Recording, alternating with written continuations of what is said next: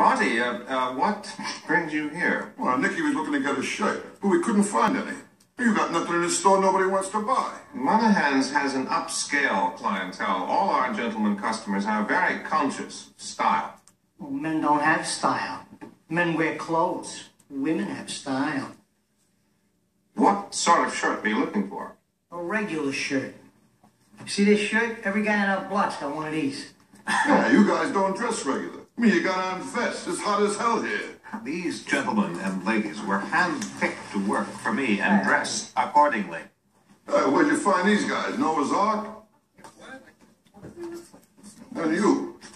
There's a lot of trouble finding your fly.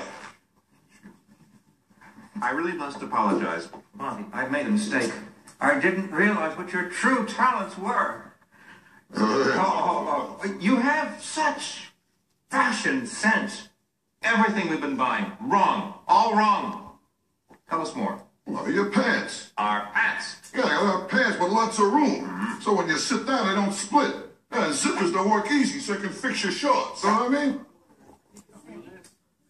The slacks blouson avec le zip. Whatever you say. About shoes? Oh, need shoes that go on and off easy. You know, no shoehorn. And no laces. They slow you up. Yes, I see that.